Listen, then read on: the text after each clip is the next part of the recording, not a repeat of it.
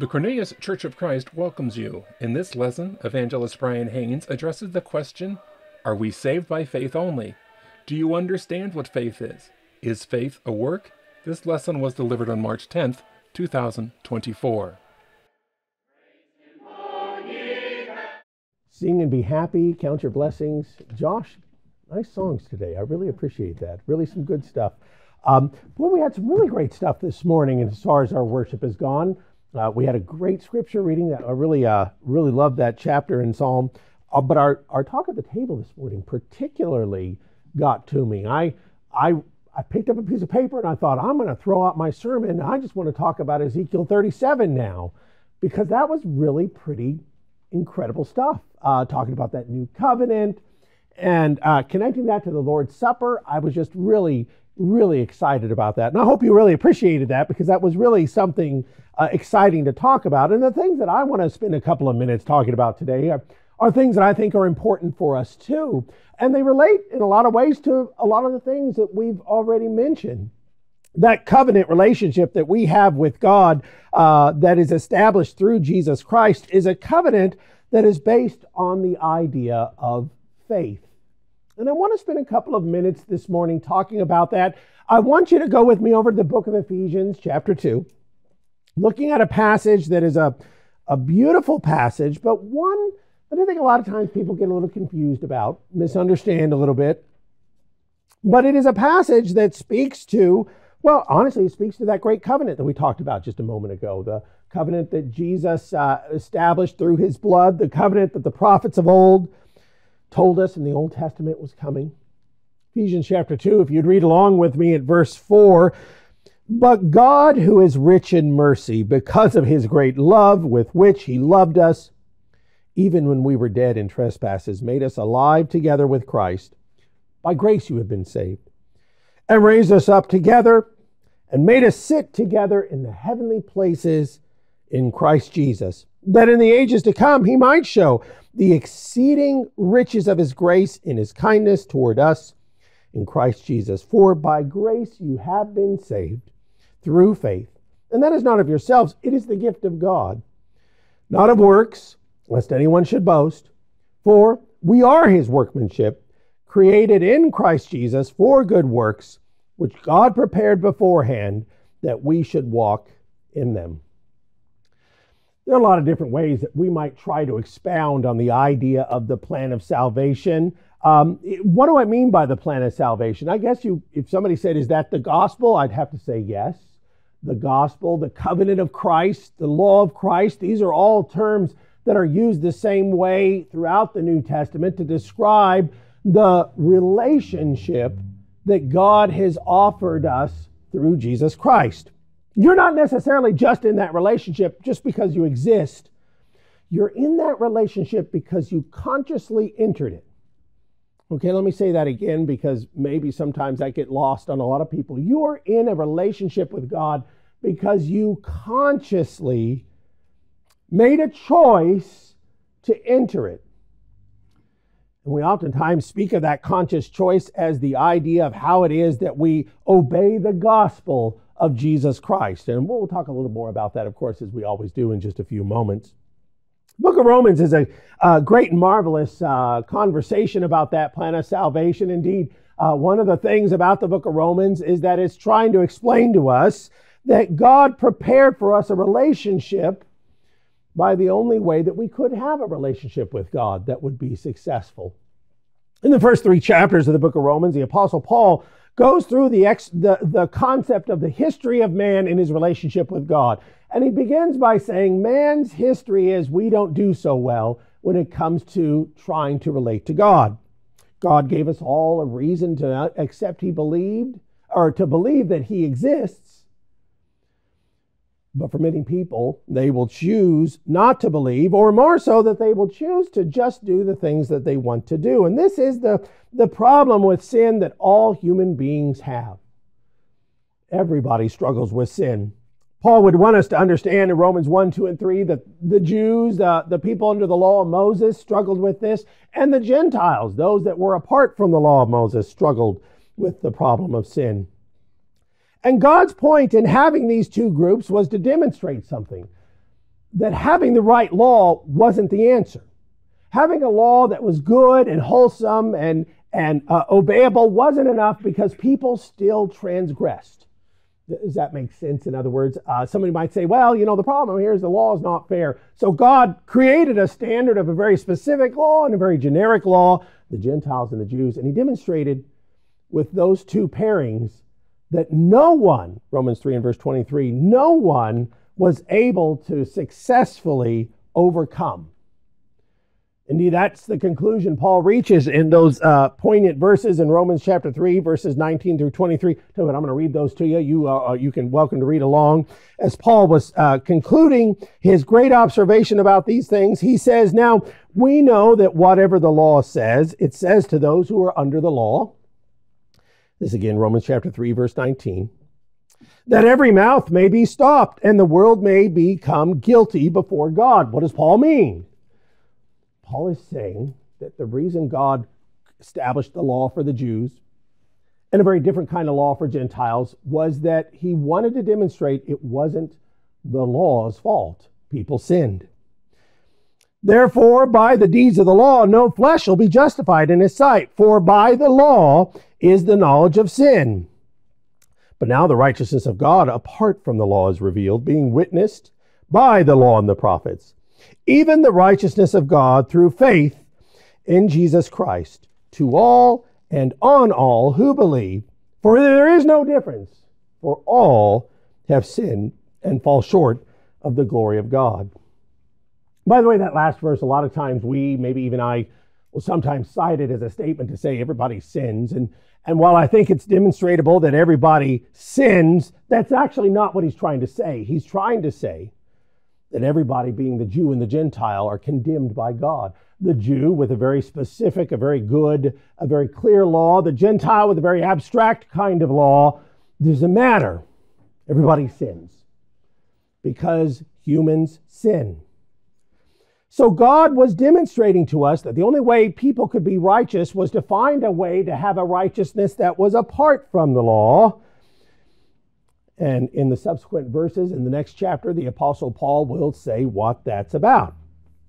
And he'll use Abraham as an example in chapter 4 and verse 3 through 5. What does the scripture say? Abraham believed God, and that was accounted to him for righteousness.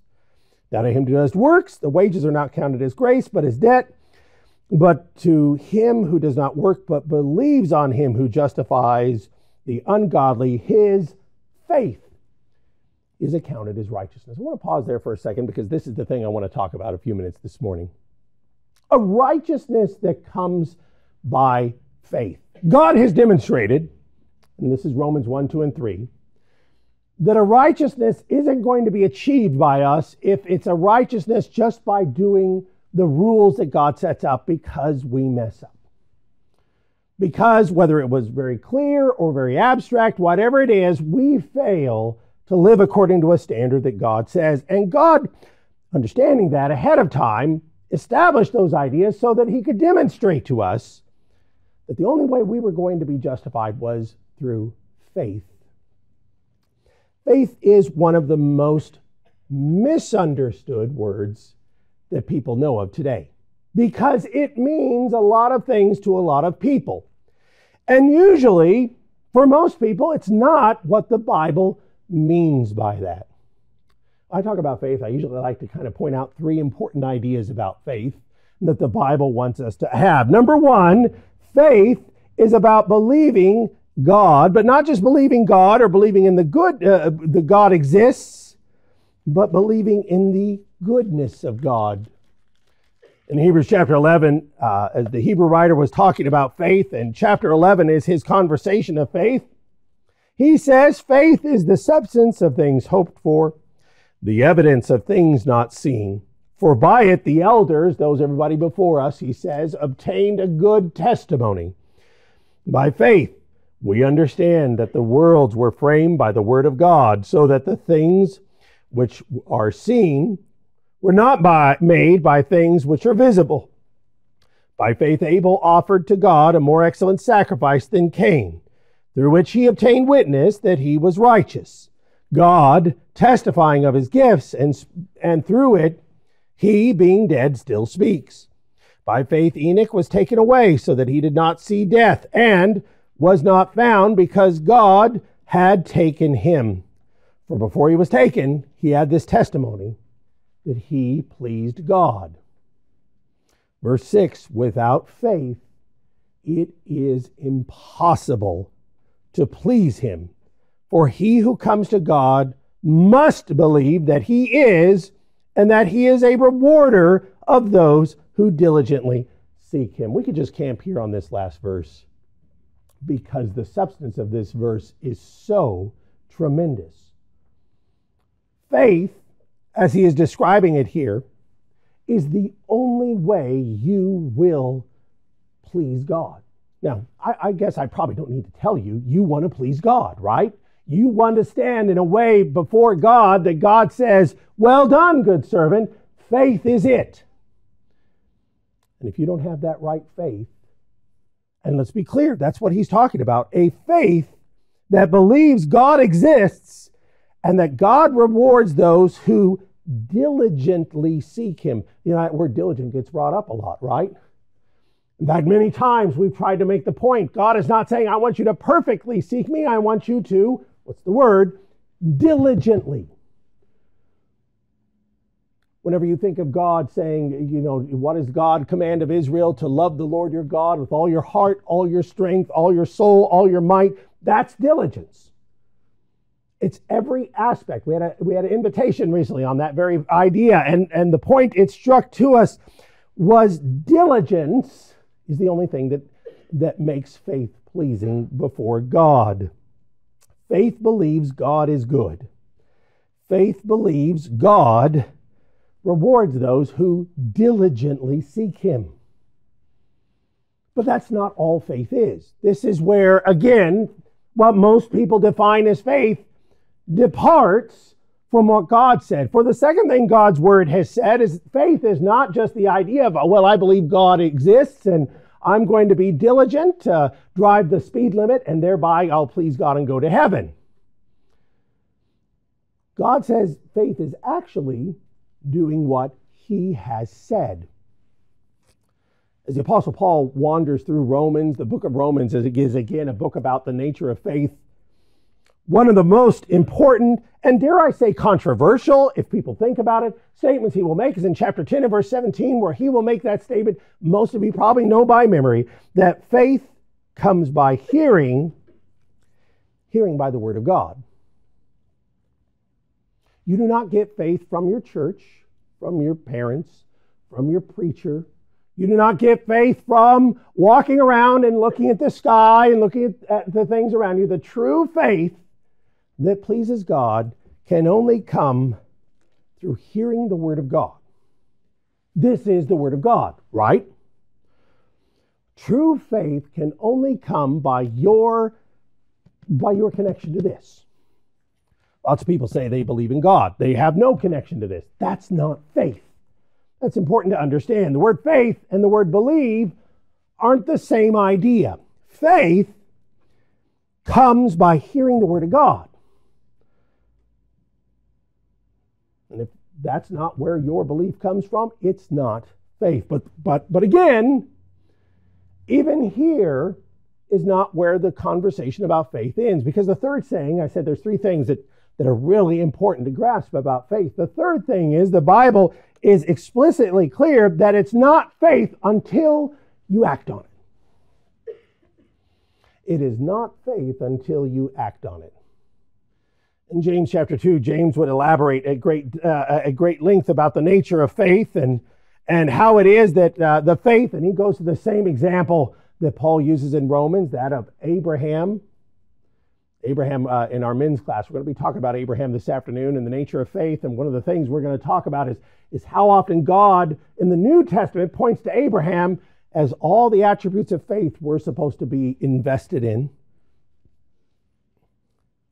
In James chapter 2, James uh, begins at verse 17 talking about the nature of faith. And he begins by saying, Faith, if it does not have works, by the way, tie that to the last passage we talked about in Romans 10 and verse 17 works that God has stipulated. If you're not doing what it says here, you do not have faith. That's what he's saying.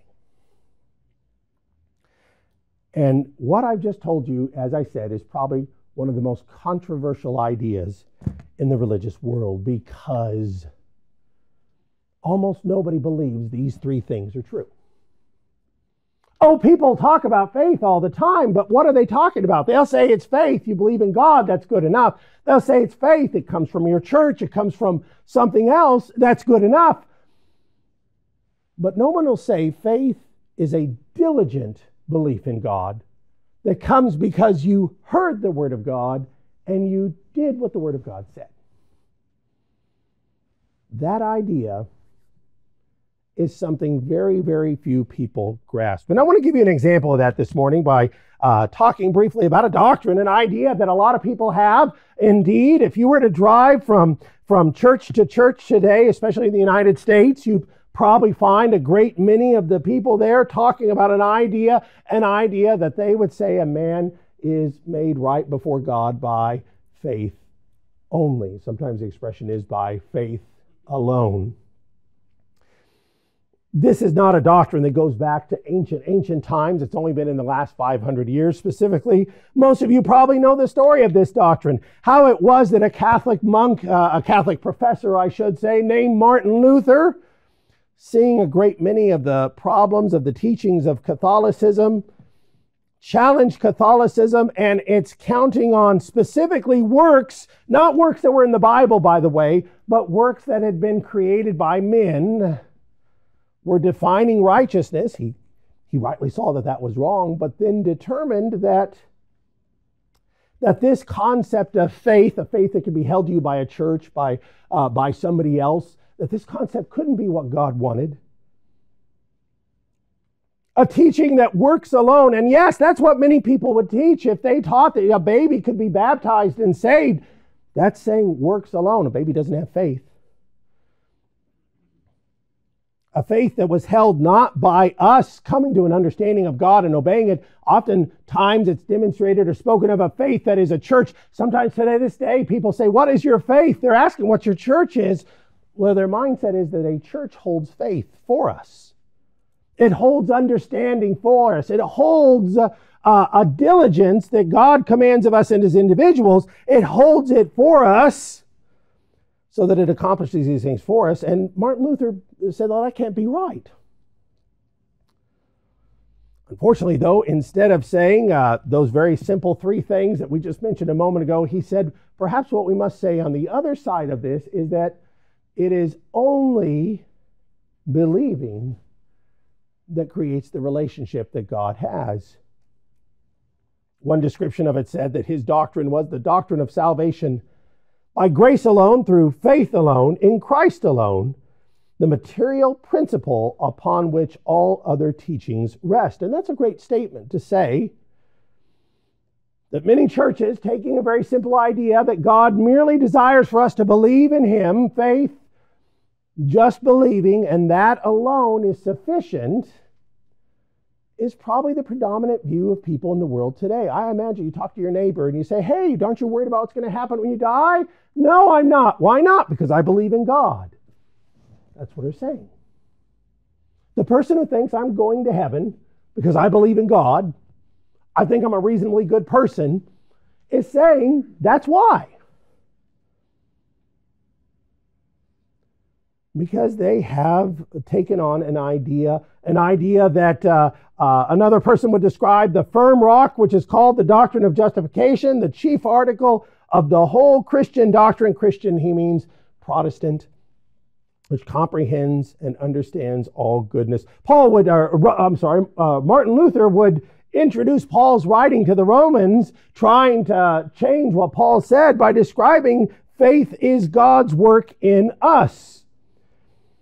Ironically, he introduces the book of Romans like this because you would see in the book of Romans very quickly that's not at all where Paul was going. Paul was describing the things that faith, if we have faith, faith and how it works in us by hearing the word of God, by believing it, by obeying it. Instead, though, Martin Luther determined faith was God's work in us. He said, you, you have to get God to work faith in you, or you'll remain forever without faith, no matter what you wish, say, or can do, which contradicts what we just saw in Hebrews, where God said it's your diligence that is the measure of faith, which contradicts what Paul said in Romans 10 that you hear the word of God to obtain faith, which contradicts what the scriptures say in the book of James, which says that faith is only living and active whenever it is in obedience and action. And this is what so many people believe. Indeed, those churches that adopt, adopted this model soon after Martin Luther became known as Protestant churches. We're not one of them, right? Uh, hopefully, all of you understand that. We are not a church that was uh, formed by those that protested Catholicism. Those churches that are commonly called Protestant are those churches that adopted these teachings and moved forward with a model that said faith is just acknowledging God. As I said, lots of people, even if they don't know it, they're approaching God that way. God gives you faith. Later on, uh, uh, one of the uh, Protestant teachers named John Calvin would say, God gives you faith whether you want it or not. He would say, God just doesn't give some people faith because he just doesn't like them. And that became the doctrine of Calvinism. And today, if you sit down with your neighbor and your neighbor says, I believe in God, I'm going to heaven, and you say, what you, why would you say that? You, they would, might say, well, it's that statement that Paul told us back in Ephesians chapter 2 that you are saved by faith. For many people, when you start talking about what do you need to do to be saved, that will be a confusing question. For many people, when you start having a conversation about the things that you did to be saved, that you heard the word of God, that you believed it, that you confessed with your mouth that Jesus is Lord, you turned away from sin, you were baptized. By the way, every one of these things spoken of by Paul in the book of Romans at length? And they would say, no, no, no. Baptism is only a sign. So let me just kind of make a couple of points here about, about a doctrine so many people you know and you love have been misled by. Point number one there's a big problem with believing that faith alone saves you, and that is that it's not in the instrument of faith, the Word of God. It's just not there. One of the conversations I'll always have with somebody is, Can you show me a passage that says that? No, they'll jump over to Ephesians chapter 2 and verse 8 and they'll say, Oh, look, here it is. And I'll say, Well, that's funny because in my translation, in your translation, every translation of the Bible, that word only isn't there. And they say, Well, it should be there. Yeah, I've, I've had people say that. I've had people say, Well, it's implicitly there. If it says you're saved by faith, it means only.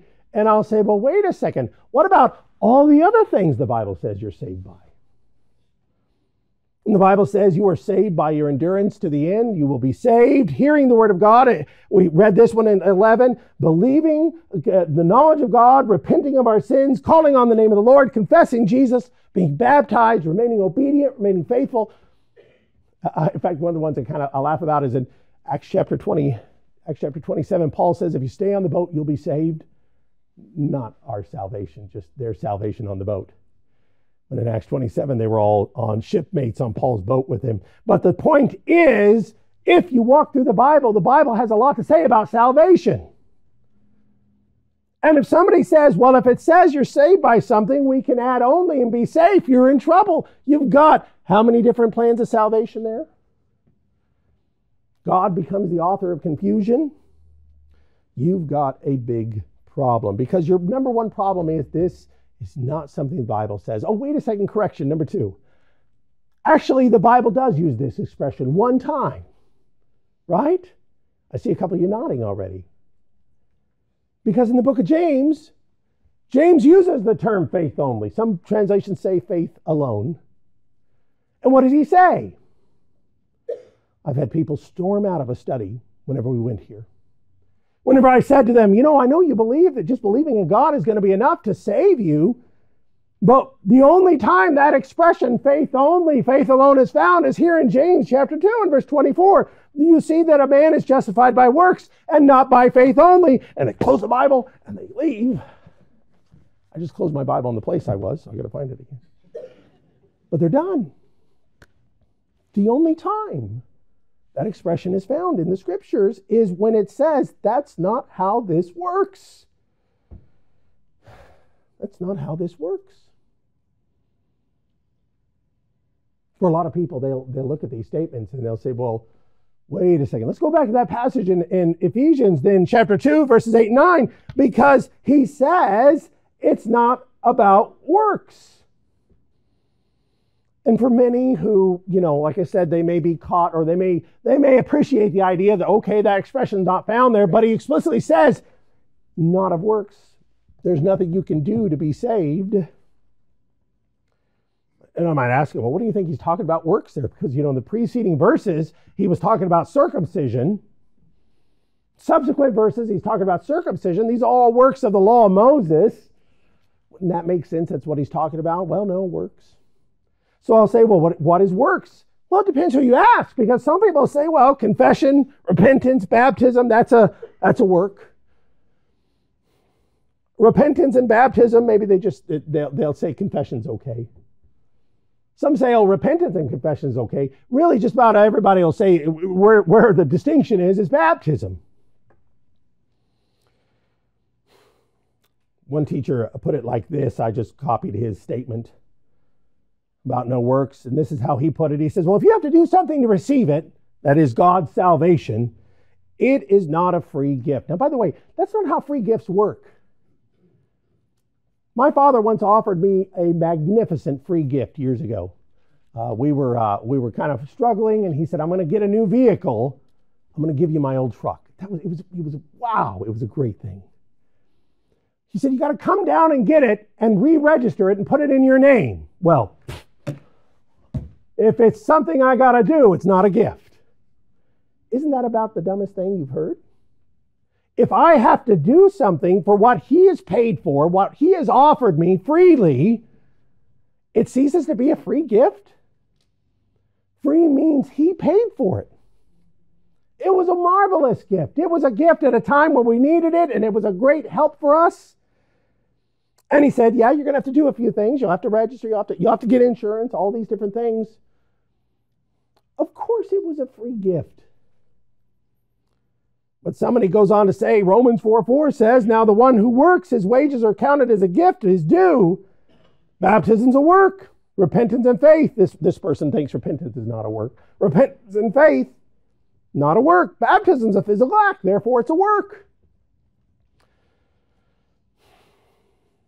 Problem number three. You know, the one thing that the Bible says is a work is believing. John chapter 6 and verse 29, Jesus was talking to the, to the audience there and he was talking about what it would take to be saved. Jesus answered and said to them, This is the work of God that you believe in him whom he sent. What's interesting about that, in that list of things that we just talked about, there's actually not a passage that says repentance is a work. There's not a passage that says confession is a work. Not a passage that says hearing is a work. There's not a passage that says baptism a work. The one thing that the Bible calls a work in the New Testament is believing. That's fascinating.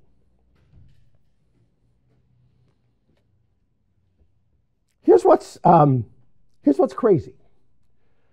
And it's so crazy that, and you see it in the scripture now, you understand. If someone comes to you and says, the only thing you've got to do to be saved is to believe, and I believe that you're, you know, that it's, uh, that's uh, salvation by faith alone. If believing is the only thing the Bible actually is explicitly saying a work, then somebody says, I only believing saves you, they believe in works only to be saved. If they're saying, I'll put it up here again, if they're saying just got to believe, that's ironically the one thing the Bible has explicitly said is a work.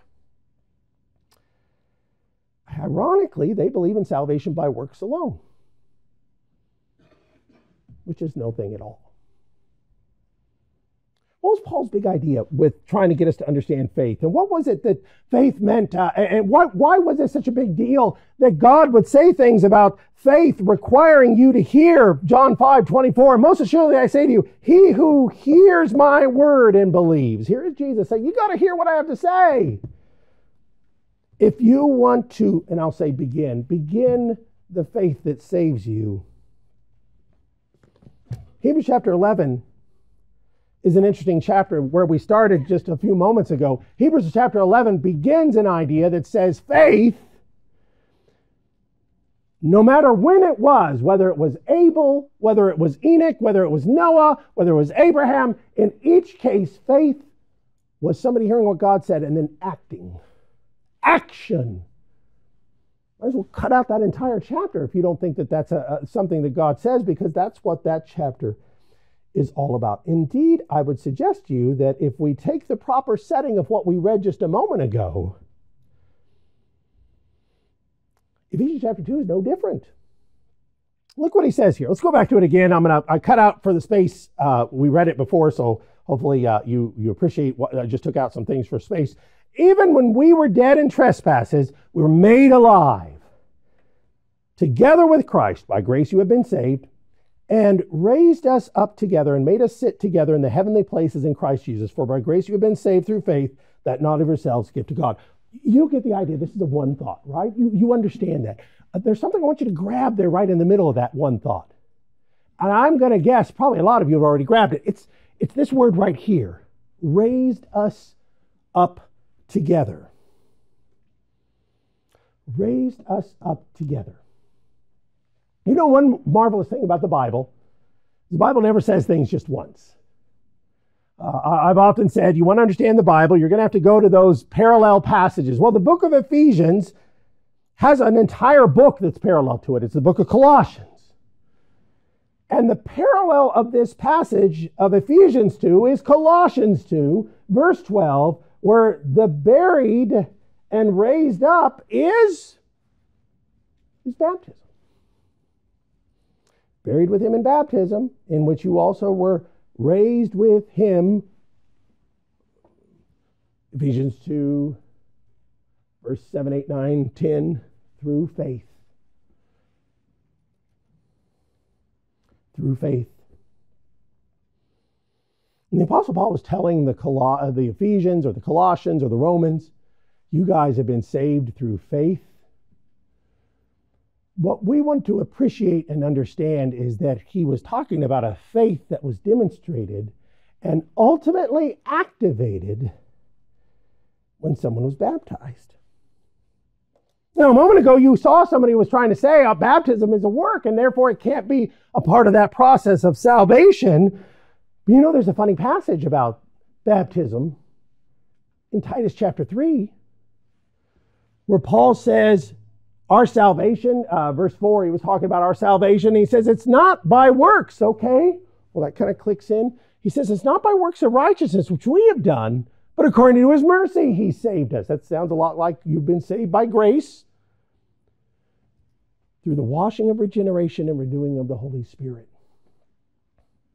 You probably picked up it's a reference to baptism. It's the same thing Acts 2 and verse 38 says that if you're baptized, you receive the gift of the Holy Spirit. The Holy Spirit works when you're baptized, washing of regeneration, renewing of the Holy Spirit.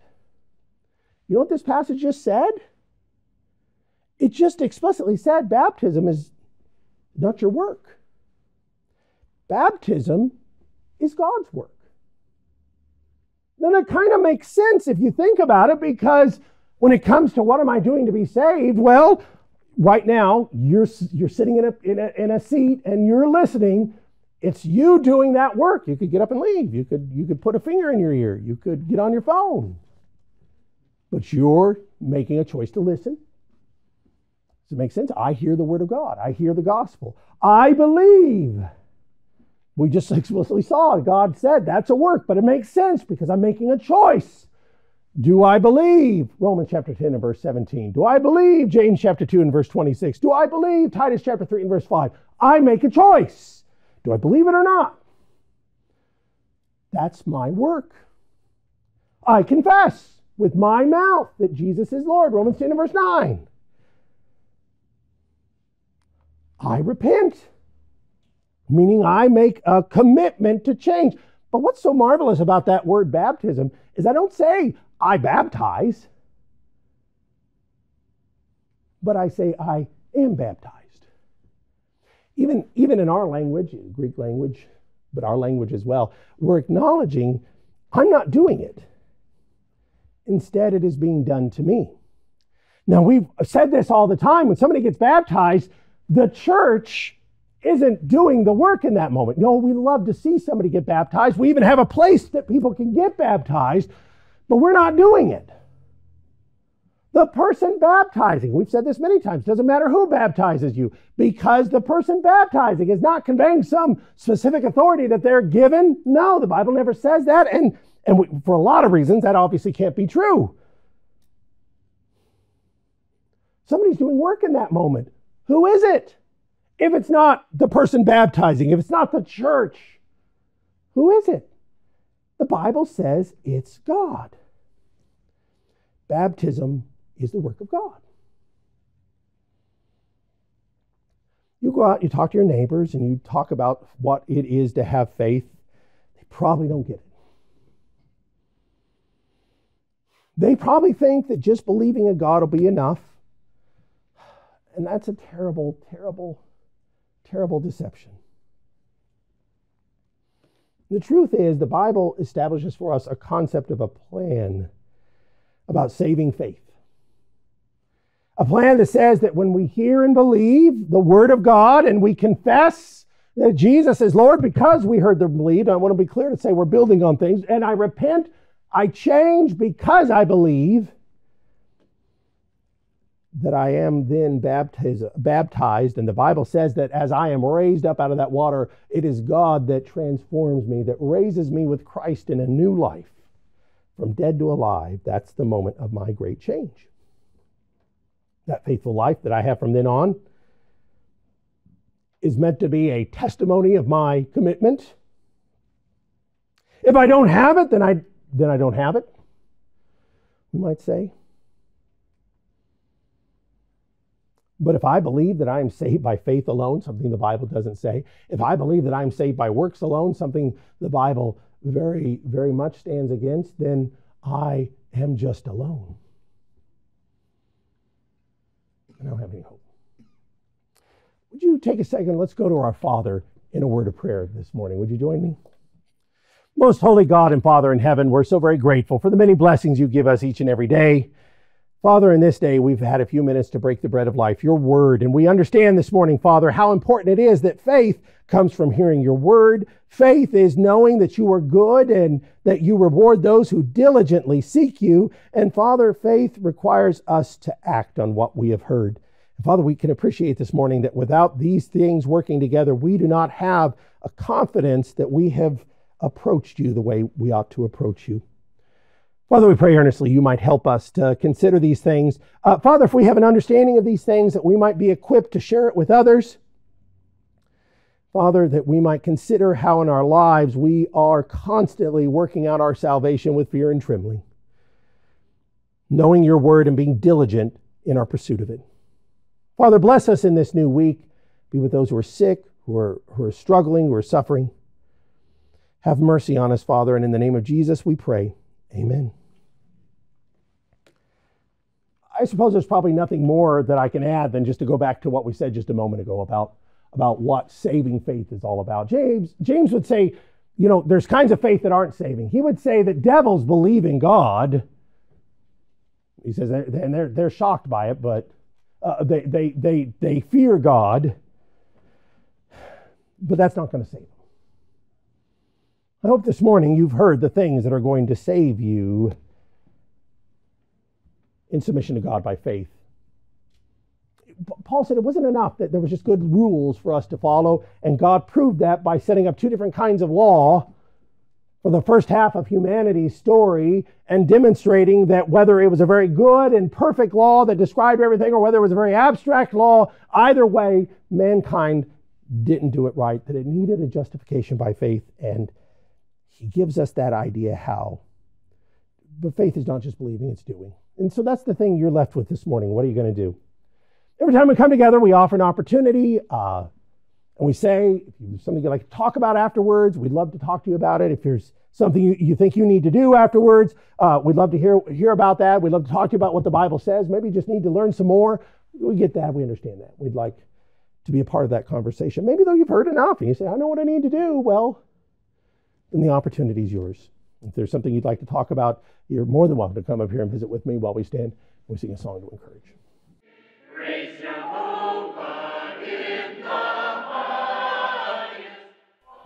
Thank you for joining the Church of Christ in Cornelius, Oregon. We can be found on our website. You can scan the QR code on your screen or the CD you were given, or on Facebook at facebook.com forward slash Cornelius Church of Christ. Thank you and God bless.